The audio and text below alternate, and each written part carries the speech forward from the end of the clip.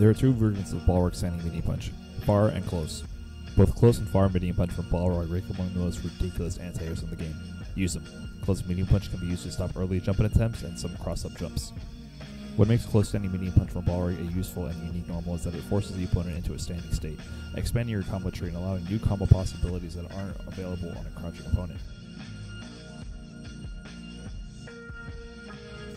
Because you can combo into close standing medium punch from a crouching jab, you can hit confirm jump ins on crouching opponents into a combo ending in heavy upper, which leaves you in a prime position to go for a tick throw or frame trap setup.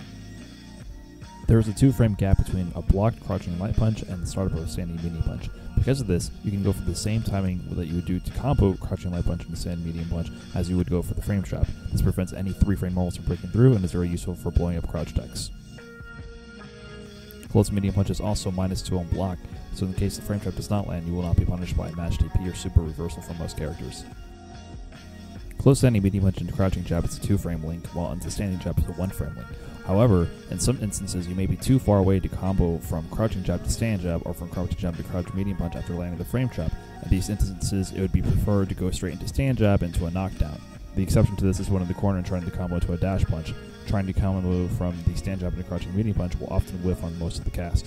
For some characters, you simply cannot combo into a crouching medium punch, regardless if you try to attempt from crouching or standing jab character specific combo options are available. Just know your spacing and be able to buffer your charge timing appropriately.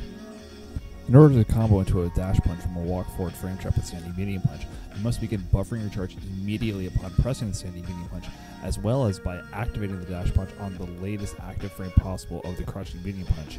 Anything earlier, and you will not have enough charge time in order to get your dash punch. That's all for this bite. If you have any questions regarding this tactic or Balrog in general, please leave a comment below. Also, any recommendations for future videos would be appreciated. Until next time.